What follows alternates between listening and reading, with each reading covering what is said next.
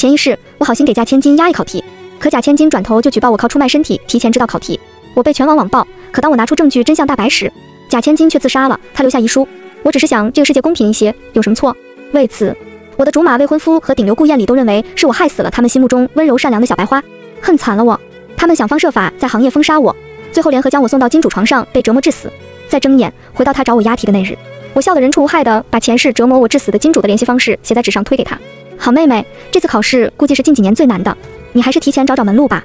一，我是学校钢琴专业的第一人，荣获无数大奖，被誉为最有潜力的钢琴天才。我家还有一个假千金顾软软，是哥哥顾艳丽在外面资助的女孩，后面领养到家里来了。她钢琴水平很一般，但是她的嘴巴很乖，每次都屁颠屁颠的跟在我的后面，嗲嗲的喊着姐姐。而我的亲哥也护着她，冉冉，她很可怜，什么都没有，所以你要让着她，知道吗？强者要保护弱者，我觉得她是菟丝花。所以一路考试的时候，都让他跟在我后面蹭经验、蹭奖牌，然后好心给他压一题考试，反被冤枉和迫害。很好，题我不压了，人都恨不得给我去死。二，下课铃声响起，同学们就簇拥到我边上来了。冉冉，你每次押题都特别准，这次你押的什么曲子？赶快告诉我们呗。女神上次多亏了你，我考试才过。我妈给我奖励了三万块钱，我真的太爱你。学霸，这次透露一点点信息给我们吧。这次我依旧很大方，写出了十首曲子。笑吟吟道，不出意外，应该在这十首曲子里面。同学们如获至宝，记录下来就回去练习了。这就好像考试前圈定的考试范围一样，正常情况下去练习肯定是没有问题的。可是，一贯被我精准押题的假千金，自然是不满意这么大的范围。等人走后，就开始和我撒娇。我的好姐姐，这十首曲子太多了，你再给我精确一下嘛，最好只要一首。前世我给他精确到了一首，然后把自己也交代上了。这一次，我微微一笑，拿出了便笺纸，在上面写下了前世折磨我致死的金主联系方式。好妹妹，这次考试估计是近几年最难的，你还是提前找找门路吧。刚刚那十首都是我随便写的，反正他们的基础都可以，怎么也能过。多练习总是好的。但是你不同了，这次估计悬了。给你介绍的这位是很厉害的大人物，艺考对于他来说就是小菜一碟。希望妹妹能成功。说的温柔又贴心，顾软软的眼里浮现了纠结之色。我缓缓地补充道：“我们一家都是学霸天才，要是妹妹这次过不了，爸妈或许会觉得很丢人吧。”顾软软抬起头，义正辞严道：“我才不会走后门呢，我会用实力证明我自己的。”我随手就把便利贴丢到了垃圾桶。那我真是误会妹妹了，加油哦！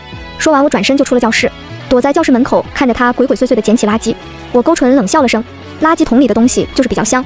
三，平时放学我和顾软软都是一起回家，这次一放学，顾软软拎着书包就消失了，我则是回到家就把自己关在了钢琴房里，能再次抚摸上钢琴让我热泪盈眶。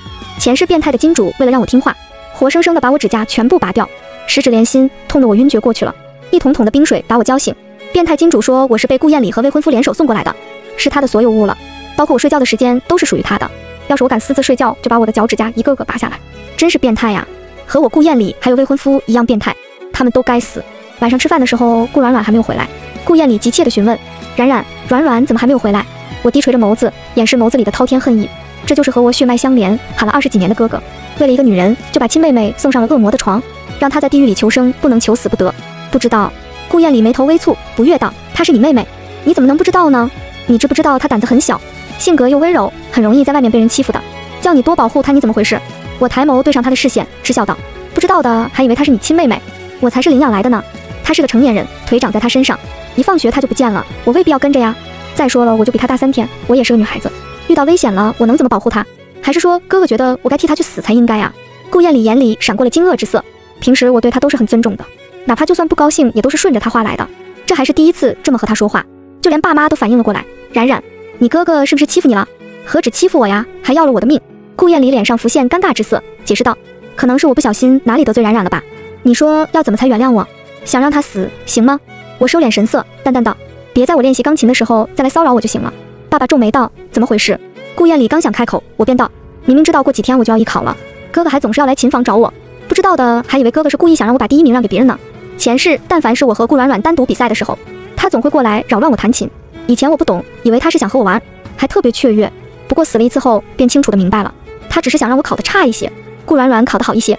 不过他那个垃圾，就算我让他一只手都没有我厉害，废物就是废物。四，刚洗完澡，房门就被顾软软敲响了，开口就是质问：“你不是说给我介绍的那个人很厉害的吗？一考就是小菜一碟。”我去问他了，他根本就不是监考老师，压根就不知道考的曲子。我嗤笑了声：“你不是说你坚决不走后门的吗？”顾软软有些心虚道：“我反正没事，就顺路去看了看。”你为什么要骗我？我随手擦拭着头发，懒洋洋道：“顾软软，你格局小了。我都说了，那个人很厉害，你就以为他是监考老师？监考老师也就考试的时候有点用，在外头都不够看的。我介绍的这个人是真正的资本大佬，被大佬看中了还考什么试？鱼跃龙门，直接在娱乐圈发光发热，顶流出道不香吗？顾软软有些心动了，手开始拧着裙摆，嘴上却还是反驳：没有实力，被大佬看中了也没有用。我微微一笑，给他加上最后一把火。世界上优秀的人何其多，但是机会有多少？站在风口上，猪都能飞。他这下子彻底心动了，眼底已经染上了贪婪之色。临走之前，他还此地无银三百两道：“我才不会做那种人呢，我会用实力证明我有多优秀的。”我勾了勾唇，但笑不语。这次艺考，我又卫冕了第一，报纸媒体上都是我比赛时的视频，校门口也挂着我名字的横幅，同学们纷纷簇拥着我，脸上全都是热情洋溢的笑容。冉冉，以后你就是唯一的姐了。你说考试范围在十首曲子里面，果然就在。废话，也不看看咱们女神哪次押题有问题了？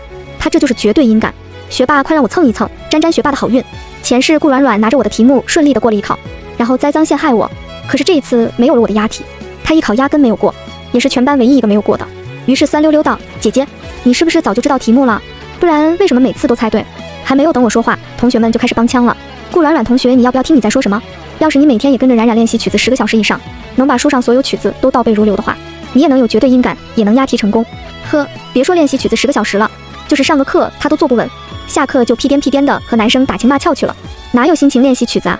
咋地呀？游戏打不赢不反省自己菜，怀疑别人开挂，真是笑话。五，你们够了！门口响起了宋简博带着几分冷意的声音，他大步流星的走到我的面前，愠怒道：“顾冉冉，你怎么可以任由同学们欺负软软呢？你快和他道歉，让他原谅你。这事我就不计较了。”我懒洋洋地靠着椅背，嗤笑出声：“宋简博，你是不是有病？有病就去医院。”宋简博皱眉道：“你怎么和我说话的？这么没有教养。”小心，我回去告诉叔叔阿姨，让他们好好教你规矩。我猛地从椅子上站了起来，抡起手就往他脸上挥去。宋简博，你搞清楚，这才是我的没教养。你以为你什么东西？真以为是我的未婚夫就了不起了？还对着我指手画脚。要不是我你的小三妈能站稳脚跟，你这个私生子能进宋家门？去告诉我爸妈的时候，别忘记了告诉他们，你和顾软软联手给我戴了一顶绿帽子。刚刚还气势十足的宋简博顿时心虚了，捂着脸解释道：“冉冉，你误会了，我只是把软软当亲妹妹看。”我嗤笑了声，我记得你有个亲妹妹。你会和她亲吻的那种吗？手还往她衣服里面伸吗？还发信息聊骚吗？同学们顿时倒吸了一口凉气。他们都知道顾软软和宋简博关系还不错，但不知道他们私底下已经玩得这么花了。当然，他们两个在学校是不敢这么嚣张的，一般都是在电影院、公园。至于信息吗？是上一世宋简博把我送给大金主的时候，在路上和我说的，还说了他和顾软软在一起媾和的事情，其中包括带着顾艳丽，关系混乱又恶心。他们却把这当成可以怀念又或者是炫耀的资本。顾软软顿时脸颊涨得通红。故意拔高声音掩饰心虚道：“姐姐，你在胡说八道，你有什么证据吗？”我随手从宋简博的口袋里拿出手机，讥笑道：“我打开他们聊天框给大家看看，应该还有些劲爆的照片。”话还没有说完，宋简博就一把抢过了手机，猛地往地上摔去。别冤枉我，我和软软是正常关系。本来他不摔，大家还觉得没什么，但是此地无银三百两后，大家都默认他们有什么了。我目光看向了顾软软的口袋，他急忙捂住手机道：“我我还有事。”说完，他也一溜烟的跑掉了。宋简博也顶着一张臊红的脸，灰溜溜的出教室。顿时，教室里响起了哄堂大笑声。刚刚本来是诓他的，没有想到他自己居然这么怂。我弯腰捡起了地上的手机，这送上门的证据不要白不要。六，花了点钱就拿到了宋简博手机里的私密信息，还有照片，聊天内容突破了我的想象，完全没有下线。这视频要是暴露出去，他们肯定会受到影响。但是这还不够，我要一招致命，让他们永无翻身之日。晚上吃饭的时候，爸妈得知了我第一名的消息，特别高兴。冉冉啊，我就知道你不会让妈妈失望。上次你不是说想要一辆跑车吗？明天妈妈就陪你去买。顾艳丽和顾软软眼里都露出了嫉妒和艳羡之色。爸妈并没有重男轻女，因为是商人，所以更看重我们本身的优秀，这能给他们带来更多的利益和面子。我轻笑道：“我改变主意了，我想要爸爸的座驾。”爸爸挑眉一笑，宠溺道：“你倒是眼光好的，会挑好东西。”我娇笑道：“谢谢爸爸，太爱你了。”然后佯装无意道：“爸妈，你们也要多关心关心妹妹。这次艺考全班就她一个人没有过。”爸妈眉头立刻蹙了起来，瞪着顾软软：“你怎么回事？这么简单的考试你都考不过？”真的太让我们丢脸了。顾软软咬着嘴唇，找着借口。那天我刚好肚子有些疼，发挥不正常。妈妈瞥了她一眼，讥笑道：“那还真是巧了。冉冉为什么不肚子疼？你们吃的可是一样的东西。”顾软软脸色一白，低下了头。顾艳丽心中不忍，狠狠瞪了我一眼。就是一场艺考而已，下次再考好就是了。我勾唇冷笑，看着顾软软眼里流露出的不甘还有贪婪，便知道没有下次了。他已经迫不及待的想打败我了。果然，凌晨的时候，顾软软穿着齐臀短裙，还有黑丝高跟，偷偷摸摸的从后门出去了。直接上了一辆商务车，扬长而去。老鼠就是老鼠，总是喜欢偷偷摸摸，上不了台面。他上的车我也异常熟悉，就是前世的变态金主。恭喜顾软软正式踏进了地狱大门。气，顾软软伺候的变态金主不错，所以清早的报纸上面全都刊登着顾软软的照片，被誉为钢琴界的天才少女。有个著名的钢琴大家大肆宣扬她天生就是吃这碗饭的，并主动招收她为徒。不少钢琴师也纷纷点赞并且转发，邀请她去当钢琴演奏会的特邀嘉宾。这份殊荣震惊国内外，一时之间顾软软风头无二，直接碾压了我艺考第一的称号。中午的时候，顾软软的横幅也挂到了校门口，她占据左边，我占据右边。顾软软特地拍照发了朋友圈，配文：曾经我以学校为荣，以后学校以我为荣。同学们在下面阴阳怪气，全班唯一没有过的艺考生，学校确实要以你为荣。顾软软同学，你又勾搭到哪位大佬了？他们眼睛就这么瞎的吗？我偶像居然点名要收你当关门弟子，以后就是前偶像了，笑死！邀请你当嘉宾，他们知道你连肖邦曲子都弹不好吗？凭借一己之力毁了半个钢琴圈，你是好样的！顾软软删评论发现根本删不过来，于是在下面评论了句：心怀宝藏总有恶狼，结果被骂的更多了，于是他开始删好友了。我默默的在下面点了个赞。要是变态金主换个正常的同学捧，大家或许会极度羡慕，但反应不会这么大，因为都是有些实力底子的，将来一飞冲天也不是不可能。但顾软软连艺考都没有过，同学们也都知道她的水平，这事就连学校老师们都缄默了，看着顾软软的眼神都十分复杂。不过当事人顾软软浑然不觉，还以为大家都是羡慕她呢。以往在学校里还以弱示人，妥妥的白莲花，如今却好像成为牡丹花。她花开后百花杀，公开和宋简博牵手吃饭，还有接吻。校门口夕阳下。宋简博把她压在豪车边，低头亲吻。抛开事实不谈，他们两个还真的挺般配的，哈哈。抛开事实不谈，那谈棉花吗？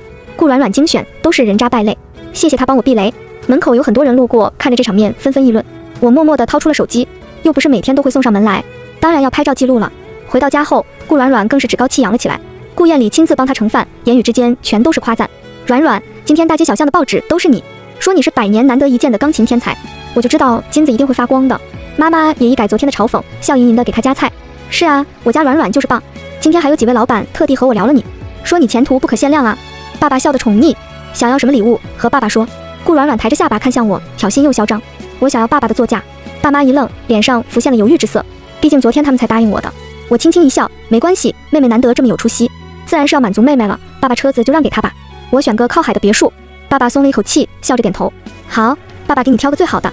他的车在之前也就几百万，但是海边别墅最少几千万，赚了。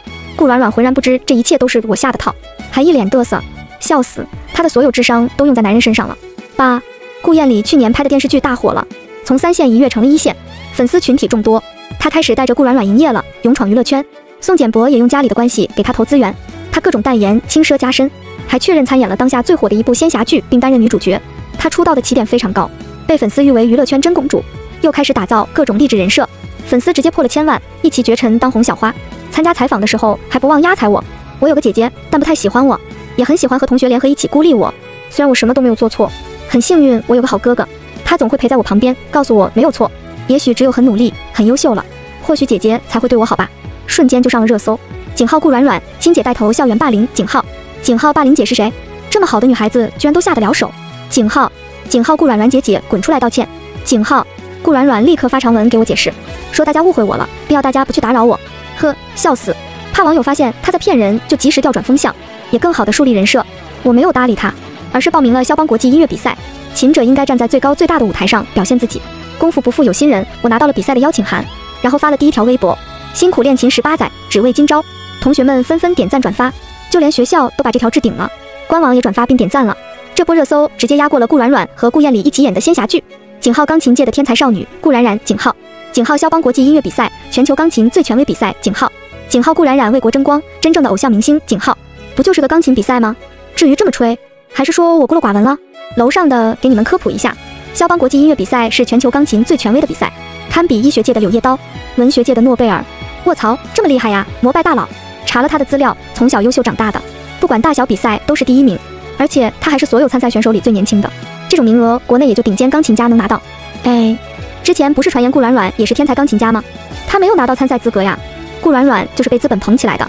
我有朋友和他一个学校，说他艺考都没有通过，算什么天才啊？就比业余的厉害一点。就正在我看评论的时候，顾艳里的电话就打过来了。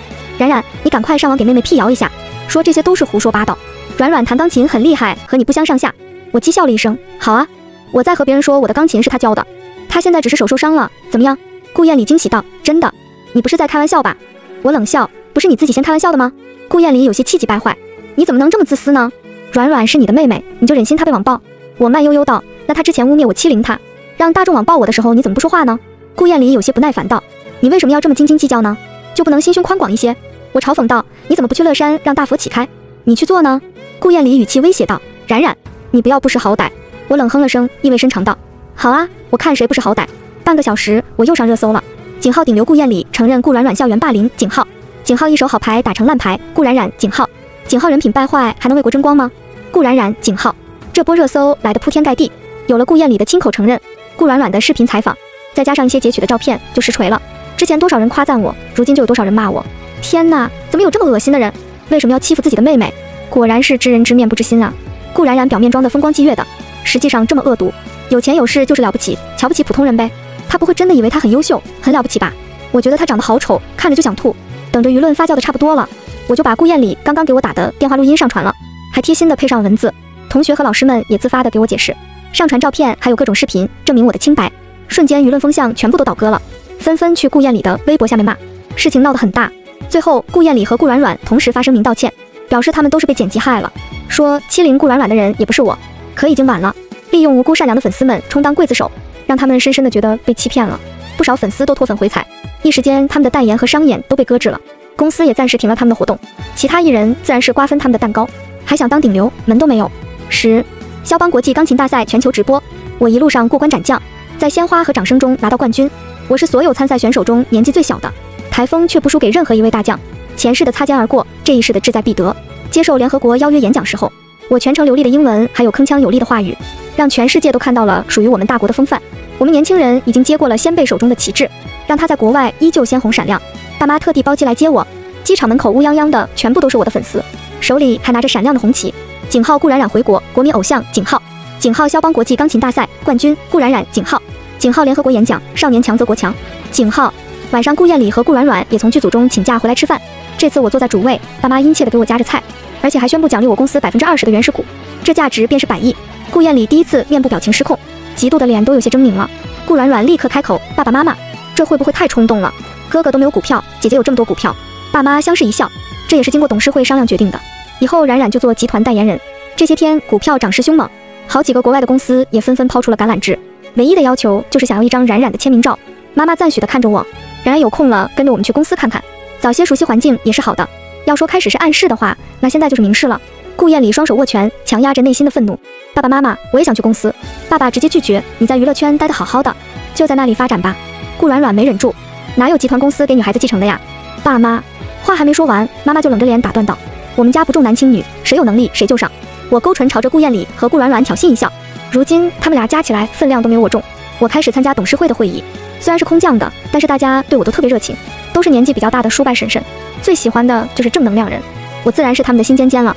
我只是随口说了几句宋简博对我不好的事，他们便就为我打抱不平了，觉得他是癞蛤蟆吃到了天鹅肉还不珍惜，便纷纷开始打压宋氏集团了。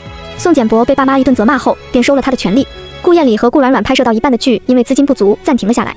顾燕里以前还能拿到家里的投资，可是自从我进公司后，他的一切项目合作我全部一刀切了。他如今看到我气得咬牙切齿，但没有任何办法。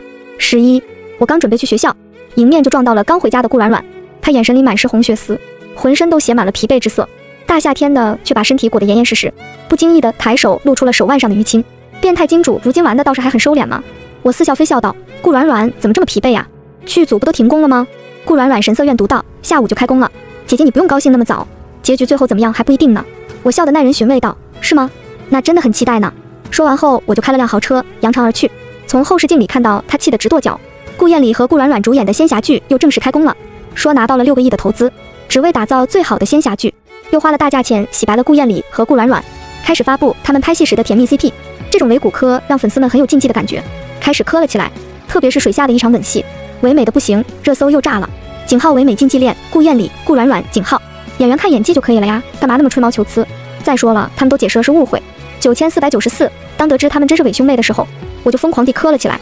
这导演是会选角色的，嗷嗷嗷！看花絮我就荷尔蒙动了，快放正片。这下子顾软软又找到了自信心，开始飘了起来。顾燕里更是在我面前放下了豪言壮语：“顾冉冉，我会拿回本属于我的一切。”我嗤笑出声：“你要不要听听你在说什么？你混得再厉害，也就是个演戏的。”顾燕里瞬间脸红脖子粗，顾软软的脸色也极为难看，因为他们终于发现我和他们压根就不是一个赛道的。从最开始他们就输了。顾软软眼神阴冷地注视着我，直接撕破脸皮道：“姐姐，你会后悔的。”我勾唇一笑，挑衅道：“真是让人迫不及待呀！”他们翻来覆去就是舆论造谣，这次造谣我和变态金主有关系，艺考满分都是暗箱操作，包括后面的各类大奖，又举出了每次押题我都很准的例子。不知情的人很容易被水军带节奏。我最新的微博评论了十几万，全部是求真相的。前世我就是被这污蔑毁了余生，这次我早已经等候多时了。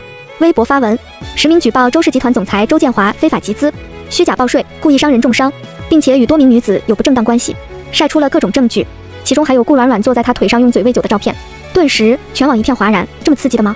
卧槽，顾冉冉真的好刚啊，居然实名举报不怕报复，我真该死啊！刚刚还差点怀疑他真的和金主有什么关系呢，谁敢潜规则他呀？是真千金富三代，钢琴又那么牛逼。讲真的，我觉得没有男人配得上这位姐。顾软软的男朋友不是宋氏集团的继承人宋简博吗？这是他从顾冉冉手里抢来的，然后又和自己哥哥顾燕离炒 CP，最后为金主喝酒，这才是真的时间管理大师吧？讲真的，顾软软出本书吧，我挺想看的。十二。变态金主被请进去喝茶调查了，实锤在身，肯定是要进去坐牢的。至于多久，那就不一定了。顾软软和顾燕里的仙侠剧都已经杀青了，可结果现在他们都黑料缠身，只能全部 AI 换脸了。如今他们只能躲在家里，大门都不敢出。爸爸气得给了顾软软好几巴掌，都想把他撵出门断绝关系了。但是顾燕里苦苦哀求，妈妈心软，便原谅了这一次。宋简博火急火燎的过来劝顾软软：“你别担心，这是很快就会过去的，没人会记得的。”我从楼上下来看热闹，嗤笑道。宋简博，你还真是绝世大舔狗，全世界都知道你戴绿帽子了，你不但不生气，还三百六十度无死角的舔。宋简博怒气冲冲地走到我的面前，双手握拳，恶狠狠道：“顾冉冉，你怎么这么恶毒？现在毁了软软就开心了？我当初真是瞎了眼，居然会和你这种人订婚。”我笑得懒洋洋道：“怎么抢了我的台词呢？”又瞥了顾燕里和顾软软一眼，慢悠悠地补充道：“既然你们三个都来了，那我再送你们一份大礼。”说完，掏出手机，登录小号，把他们三人行的视频发到微博上，再用大号点赞。早已经等候的水军开始疯狂地刷屏。做完这一切后，我勾唇一笑，挑衅又轻蔑道：“看看微博，这份大礼你们满不满意？”顾软软率先拿出手机看，然后发出了尖锐的叫声：“啊！”他们也紧随其后掏出手机看了起来，顿时脸上和调色盘一样青紫交错。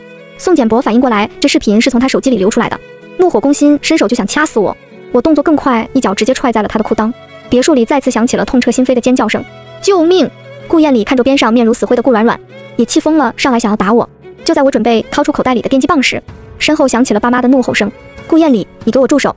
可是已经愤怒上头的顾燕里压根听不到，伸手死死地掐住了我的脖子。爸爸拿起花瓶就砸到了顾燕里的脑袋上，瞬间他额头鲜血就溢出来了。但是顾燕里掐着我的手还是没有松开，双目猩红道：“我要给软软报仇，我要杀了他，他毁了软软。”妈妈看着我开始翻白眼的时候，一脚就踹到了顾燕里的下面。不愧是我妈，手段和我一样。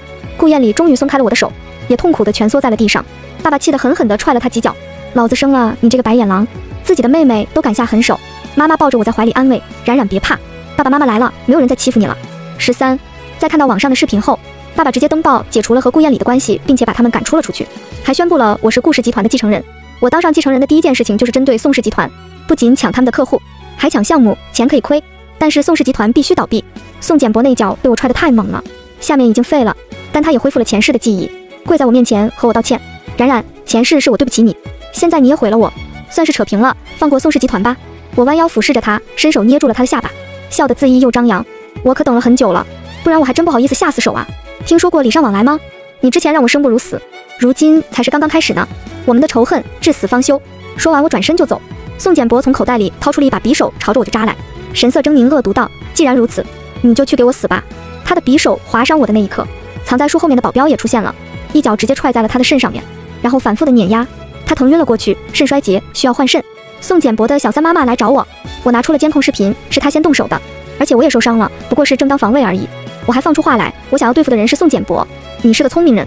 宋简博的妈妈听懂话语里的意思了，直接放弃了宋简博，公开宣布了和他断绝关系，然后和宋简博爸爸卖掉了宋氏集团去国外了，好歹还能一辈子衣食无忧。只是可怜了宋简博，从堂堂的富二代、天之骄子，沦为了现在大街上的流浪汉，时不时的还被其他流浪汉驱逐、殴打。最后因为没有钱换肾，活活的疼死了。顾燕里运气好一些，妈妈那一脚还是收敛了，她很快就恢复正常了。但面临着天价的违约金，她之前赚的钱根本就不够还，被强制执行了，还成为老赖。她想找一份好一点的工作，可是没有哪个老板敢用她。最后她只得沦落为打零工。顾软软从小锦衣玉食惯了，根本就受不了苦，开始抱怨着生活了。最后他们双双下海了。谁不愿意体验一下曾经的顶流和花旦呢？我报警，有人聚众淫秽，他们全部都被抓了起来，只被判刑了二年，但已经足够毁掉他们了。十四，出狱后的顾燕里，从曾经意气风发的少年郎，到如今的胆小如鼠，佝偻着身体宛如垂暮的老人，最终迷上了赌博，被人五马分尸丢在了大街上。顾软软出狱后当了小三，总是被原配暴打，偶尔在街上遇到了会扒拉他的衣服游行。最终他一头撞向了大卡车，被碾成了碎末。至于变态金主，当初他得罪的仇家可不少。粗略的算了一下，至少五方势力都找人进去照顾他了。被判刑了十七年，但是待了三年就出来了，因为疯了，送进了精神病院。